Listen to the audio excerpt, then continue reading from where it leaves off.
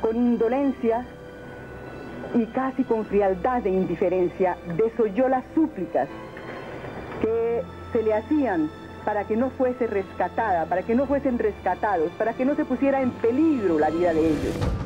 Imaginémonos que somos periodistas y estamos ante la que podría ser la entrevista de nuestras vidas. Una oportunidad que no solo significa un gran paso en nuestras carreras, sino una posible hazaña para los acontecimientos que ocurren a nivel nacional. Una entrevista que podría significar alcanzar la paz en un país convulsionado por la violencia. Ante ese panorama se encontraba Diana Turbay cuando viajó con su equipo periodístico a un punto predeterminado en el mapa donde los esperaría, supuestamente, un líder del ELN. Pero todo era una trampa. Estaba por comenzar la noticia de un secuestro que recorrería el mundo y marcaría uno de los hechos más terribles de la violencia colombiana del último tramo del siglo XX. La vida y la muerte de Diana Turbay son los temas de nuestro video de hoy. Hoy hablaremos de una persona que murió buscando la verdad. Bienvenidos a mi canal, mi nombre es Adriana Chilito, gracias por estar aquí. Si les gusta este tipo de contenido se pueden suscribir a mi canal y activar la campanita de notificaciones. De esta manera YouTube les avisará cuando suba un nuevo video. También me pueden seguir en mis diferentes redes sociales, me encuentran en Instagram, Facebook o en Twitter como arroba lachilito y en TikTok como arroba lachilito1. Comenzamos.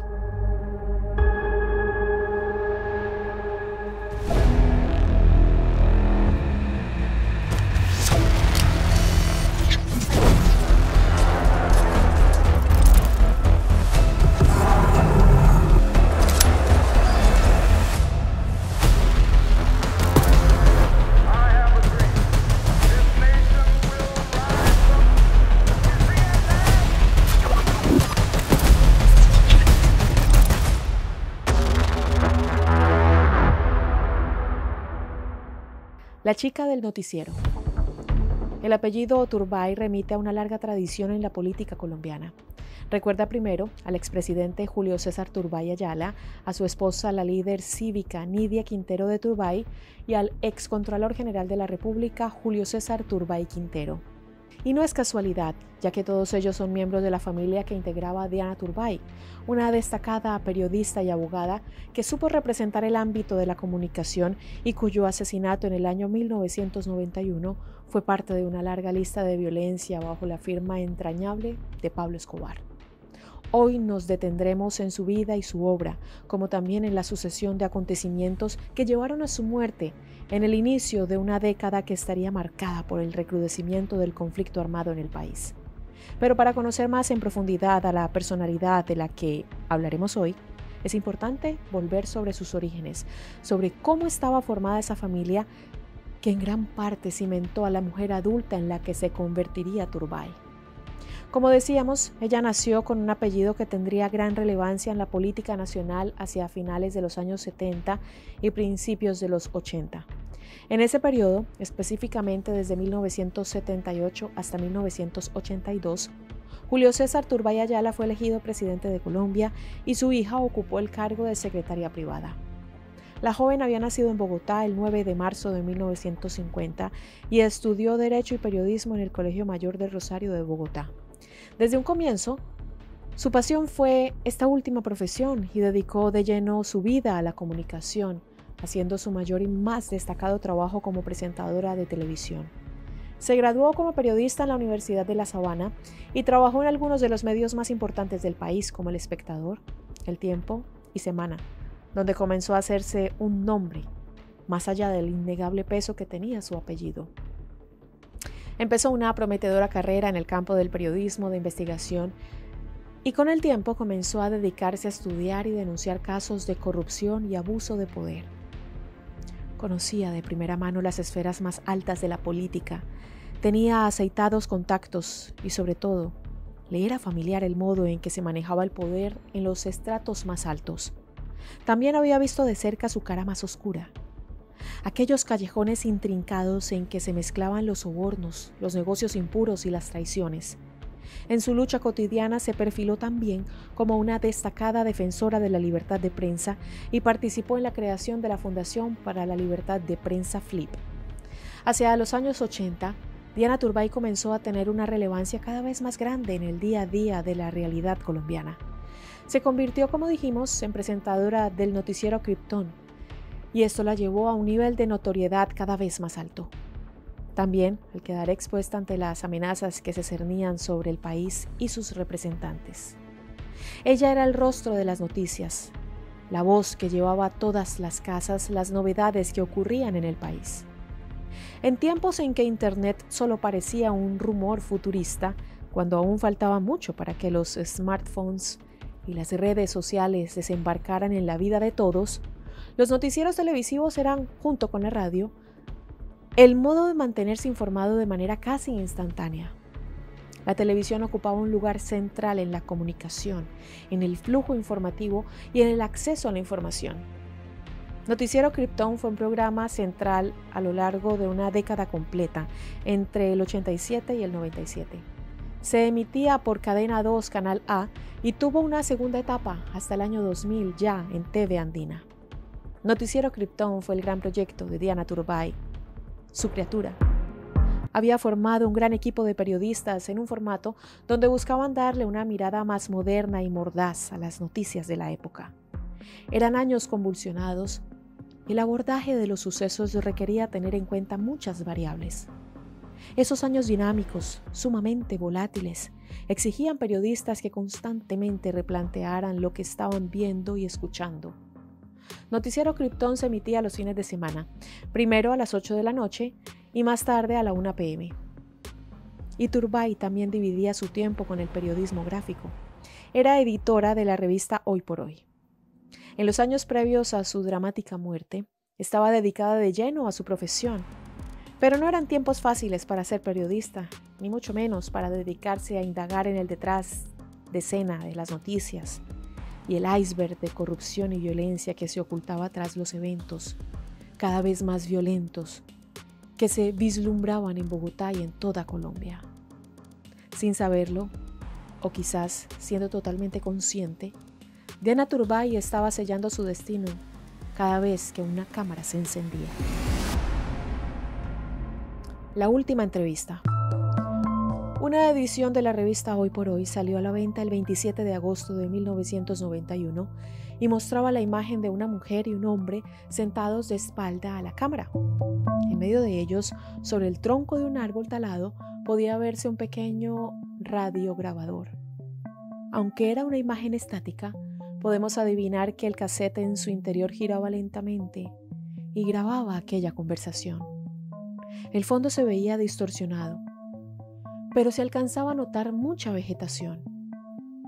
¿Un parque acaso? No. El contexto de esa entrevista era otra, y esa foto lo recreaba como tal. La mujer en cuestión, cuya característica cabellera rizada nos remitía a Diana Turbay, estaba secuestrada. Y aquella era su última entrevista. La portada de la revista lo explicaba. Cautiva, grabó una conversación con Ricardo Prisco, jefe del operativo y figura clave de la seguridad de Pablo Escobar. La publicación de esa entrevista traía consigo una crónica de las últimas horas de la periodista en libertad. El jueves 30 de agosto de 1990, a las 5.30 de la tarde, Diana Turbay abordó una buceta frente a la sede del noticiero Krypton. Había conformado un equipo de periodistas de los dos medios que ella había fundado para cumplir una misión de información y para intentar atraer al ELN a un proceso de paz. Pero algo más estaba pasando. En las sombras se desplegaba otro operativo mucho más peligroso. Aquello no era más que un montaje, una emboscada. Ajena a lo que estaba pasando en realidad, Turbay consideraba que aquella entrevista no era solo una oportunidad profesional, sino también una oportunidad personal. Poder acceder directamente al cura Pérez parecía la oportunidad perfecta para tender un puente entre el ELN y el gobierno, actuar como mediadora en un acercamiento a la paz que se sentía urgente. Pero allí había algo muy alejado de la paz. Aquel montaje había sido cuidadosamente pactado con el único objetivo de secuestrarla. Hacía tiempo que cada uno de sus movimientos habían sido controlados por los ojos de sicarios que la seguían a sol y a sombra. Habían trazado una agenda completa de cada una de sus actividades, horarios, calles que transitaba y las personas con las que se veía a diario. El operativo e inteligencia criminal no abarcaba solo a Turbay, sino a gran parte de su equipo de colaboradores. Todos ellos, aquel 30 de agosto, cayeron en la trampa que acabaría en uno de los secuestros más tristemente célebres de la historia colombiana. ¿Quiénes estaban detrás de semejante plan? Poner en marcha un secuestro y todo el sistema de espionaje previo requería muchos, muchísimos recursos. ¿Quién más podría tenerlos que Pablo Escobar? Para comprender la trama que se desplegó detrás del secuestro de Turbay y sus compañeros, debemos remontarnos a la historia de los extraditables. Se trataba de una organización criminal ligada al cártel de Medellín y conformada por capos narcos de primera línea. Su jefe máximo y cerebro en la mayoría de las operaciones de combate que llevó a cabo este grupo era el mismísimo Pablo Escobar. Bajo la proclama Preferimos una tumba en Colombia que una cárcel en los Estados Unidos, los extraditables se lanzaron como tales públicamente en 1986 y se posicionaron abiertamente en contra de las extradiciones a Estados Unidos que planteaba el gobierno colombiano. Sus integrantes tenían un precio sobre su cabeza. Si eran apresados, serían inmediatamente enviados a los Estados Unidos para ser juzgados y encarcelados allí y sin ningún lugar a dudas por el resto de sus vidas. Se los acusaba de narcotráfico, secuestros, homicidios y sobornos. A toda costa ellos querían escapar a ese destino y tal como lo habían dejado en claro desde un principio, estaban dispuestos a todo con tal de evitarlo. Inclusive dispuestos a morir y llevarse consigo a quienes, bajo su criterio, fuesen necesarios. Cuando Diana Turbay empezó a posicionarse como una de las voces fuertes en los medios de comunicación, también empezó a captar el interés de los extraditables. Turbay estaba cerca de los procesos de negociación entre el gobierno y la guerrilla, según recogía la revista Hoy por Hoy. Había sido autora de toda la obra de ingeniería política que permitió el establecimiento del diálogo que condujo finalmente a la paz con el M-19. Su entrevista a Carlos Pizarro León Gómez, de quien recientemente hemos publicado un video, ayudó a la desmovilización de esa guerrilla. Pero los extraditables no estaban interesados en ninguna paz. Tentada por la posibilidad de volver a acercar posiciones, esta vez con el ELN, Turbay y sus colaboradores cayeron en la trampa. El equipo estaba formado por Azucena Aliébano, Richard Becerra, Orlando Acevedo, Erobús y Juan Vita. Instalados en una finca del municipio antioqueño de Copacabana, el equipo periodístico esperó a su supuesto entrevistado en el punto de encuentro fijado. El tiempo pasaba y nadie aparecía. Solo un guardia que los custodiaba y resultó ser un sicario. Cuando le preguntaron si faltaba mucho para que llegase el cura Pérez, aquel hombre respondió una frase que sería también sentencia. No hay ningún cura Pérez. Ustedes están en manos de los extraditables. Era el comienzo del último tramo en la vida de Diana Turbay. Cautiva. El 26 de enero de 1991, los periódicos colombianos amanecieron con una noticia que frenaba en seco todas las actividades cotidianas del país. Asesinato de Diana estremece al país, titulaba el tiempo. No hacía falta siquiera adelantar el apellido de la periodista. Todos estaban al corriente de lo que venía pasando el secuestro, el cautiverio, los intentos de liberación. La noticia comenzaba así. El país reaccionó ayer conmovido por la muerte de la periodista Diana Turbay de Uribe, baleada por sus secuestradores cuando se vieron sorprendidos por la policía. La cruenta operación de rescate se produjo a las 11 de la mañana en una finca ubicada a dos horas a pie desde Copacabana, en el oriente antioqueño, donde las fuerzas del cuerpo élite liberaron sano y salvo a Richard Becerra, camarógrafo del noticiero Krypton, compañero de cautiverio de la periodista durante 148 días. De ese modo terminaba el calvario, pero aún quedaba mucho que contar. La periodista tenía 41 años y el espectador recordaba que, un día antes de que la noticia de su muerte se publicara en todos los medios, la curtida reportera había fallecido en un quirófano en Medellín por las heridas que le causaron tres impactos de bala que le propinaron sus secuestradores en medio de un operativo de rescate. Los mismos medios ya calificaban el secuestro de Turbay como parte de una campaña de terror emprendida por Pablo Escobar y sus hombres contra la extradición. Un plan que había llegado a su expresión más brutal. estaban dispuestos realmente a todo. Una pregunta que parece ineludible es cómo llegó Turbay a caer en aquella trampa. Según sus allegados, los secuestradores lograron tenderle el anzuelo que ella nunca iba a evadir. Uno de los que indagó en cómo se desarrolló este plan criminal fue nada menos que el célebre escritor y periodista Gabriel García Márquez. En su libro Historia de un secuestro decía Gabo, pensar que Diana desistiría de ese viaje era no conocerla. En realidad la entrevista de prensa con el cura Manuel Pérez no debía interesarle tanto como la posibilidad de un diálogo de paz. En aquel libro se repasaban también los secuestros que siguieron al de Diana en la segunda mitad de los 90, como el del entonces jefe de redacción del Tiempo Francisco Santos, la directora de Focine Maruja Pachón, Marina Montoya, hermana del entonces secretario de la presidencia de Virgilio Barco, entre otros. Pero volvamos al momento del secuestro. Cuando el equipo emprendió aquel último viaje, al principio la demora en su regreso se atribuyó a la complejidad de aquella misión. Las comunicaciones no eran buenas, quizás se habían aplazado los tiempos de la entrevista.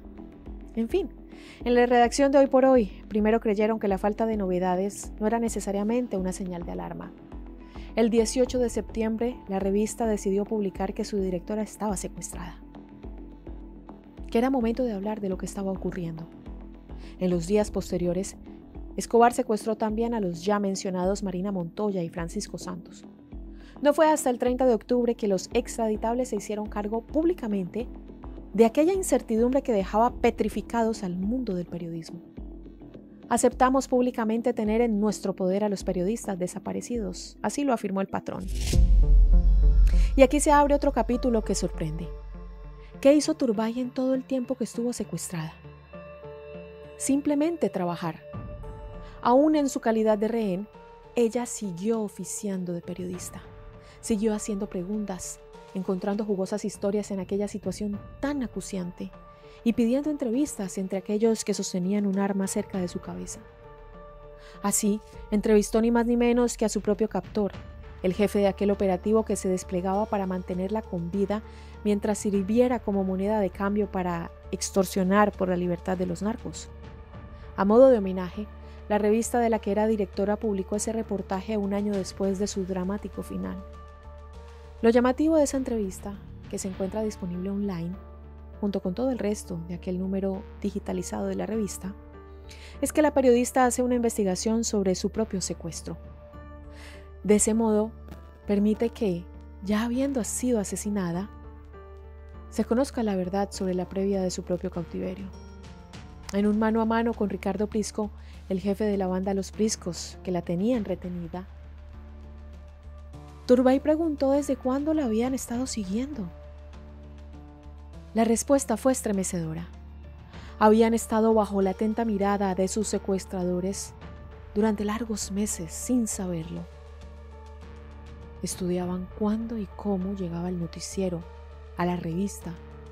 Infiltraban en su vida cotidiana personas que acababan siendo informantes que iban cerrando sobre ella el cerco de un secuestro que según Prisco se planificó que fuera llevado a cabo sin tocarle un pelo, sin ningún accidente. ¿Qué pasó entonces?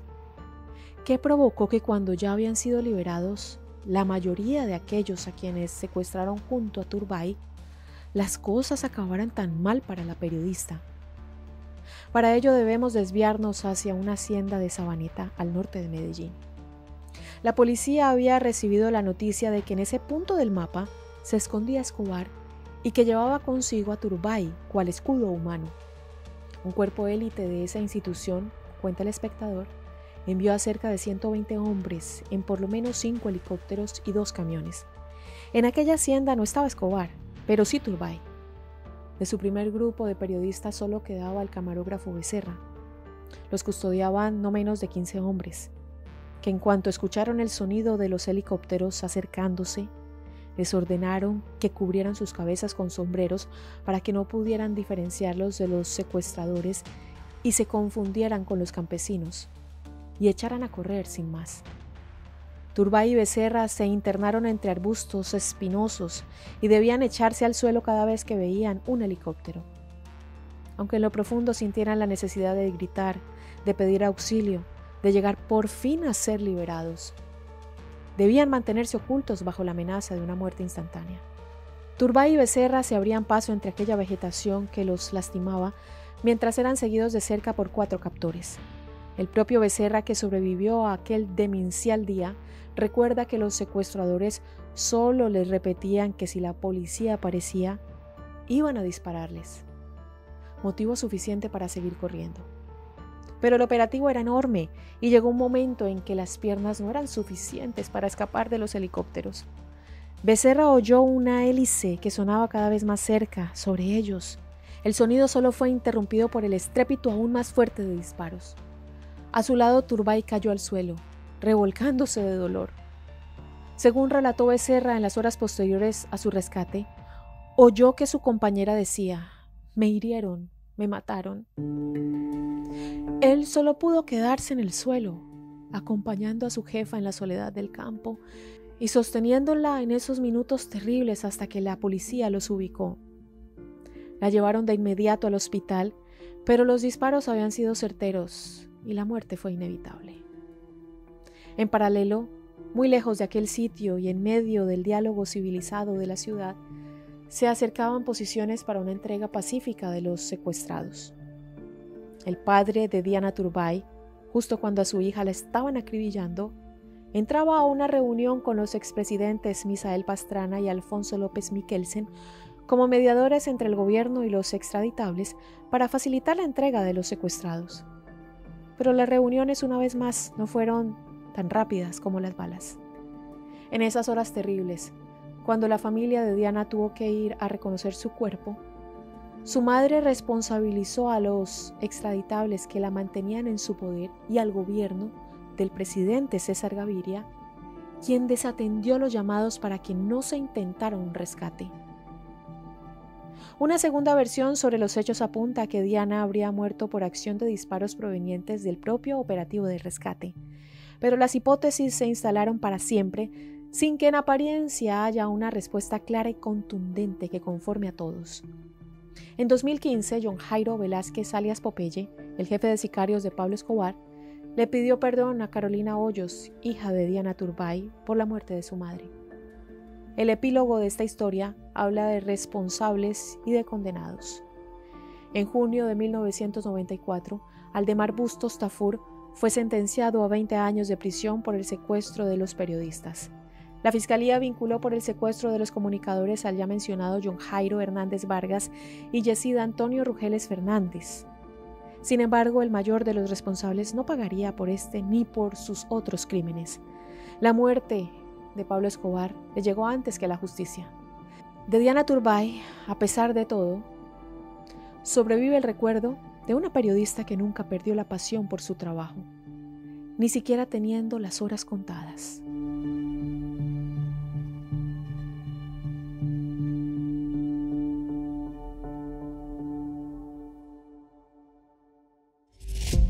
Ustedes gracias por llegar hasta el final de este video.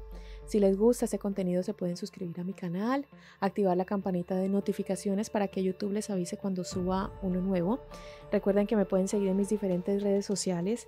Me encuentran en Instagram, Facebook o en Twitter como arroba lachilito y en TikTok como arroba lachilito1. Ahí también podrán ver fotos y videos de mi hermosa Lupita que está aquí conmigo. Mi princesa que me acompaña siempre. Espero sus mensajes, comentarios para complementar este video y también para futuros contenidos. Nos vemos en uno próximo. Hasta pronto. Bye bye.